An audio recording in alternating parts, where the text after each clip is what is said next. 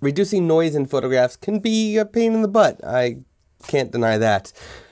There's software like Photoshop and Lightroom that can remove noise. There's software like ON1 Photo Raw that can remove noise and Luminar that can remove noise and so on and so on. There's endless software that can remove noise. But I'm doing a series on artificial intelligence in photography. So, so the software I want to show you is a new one from Topaz Labs called Denoise AI. It uses artificial intelligence to remove noise in photographs.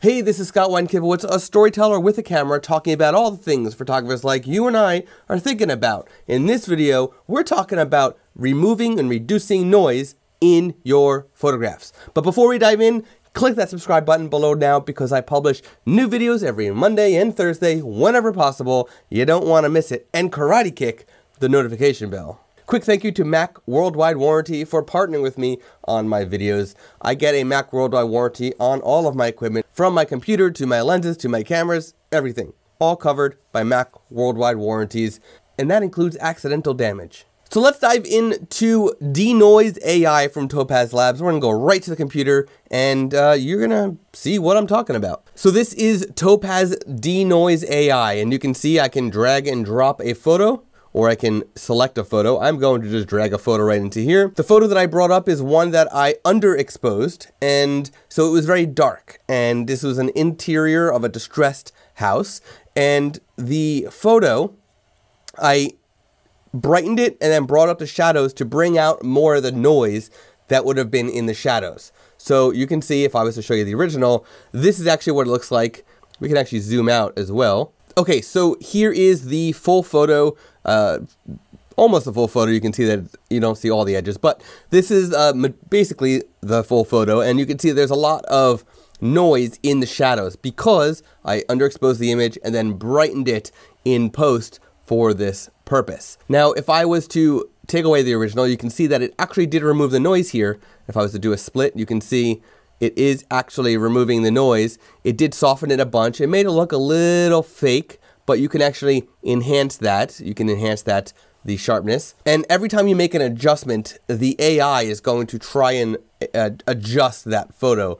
So you're gonna see uh, the reprocessing every single time. So it can take a good amount of time to get this done. This software isn't the fastest uh, compared to other AI software that Topaz has done in the past. This one is probably the slowest of them all for a good reason. It has a lot of things that it needs to do to correct. You can see it did actually sharpen that a little bit. So now it looks a little bit better and I would probably uh, keep that going. I'm to turn off the automatically update preview and just sharpen it a little bit more and now I can manually update the preview when I'm ready.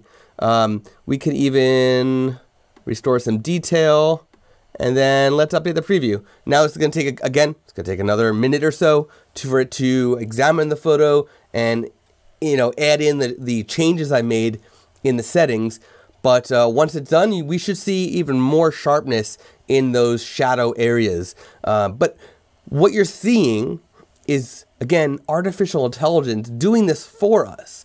We don't have to figure it out so much. We're letting the software do that thinking for us. So that's kind of where artificial intelligence I think can be good and bad. It's done. Let's have a look. I think it did a pretty good job. If you look at this, now the sharpness is actually pretty good. It doesn't look as fake. It still looks uh, a little fake because it's still soft, but you can see it did remove all that. Now what I would probably do at this point because I don't want, if you look at, if I take away that, you can see that it's also soft here. But if I was to do a split, you can see there's actually more detail in the brick when it's before.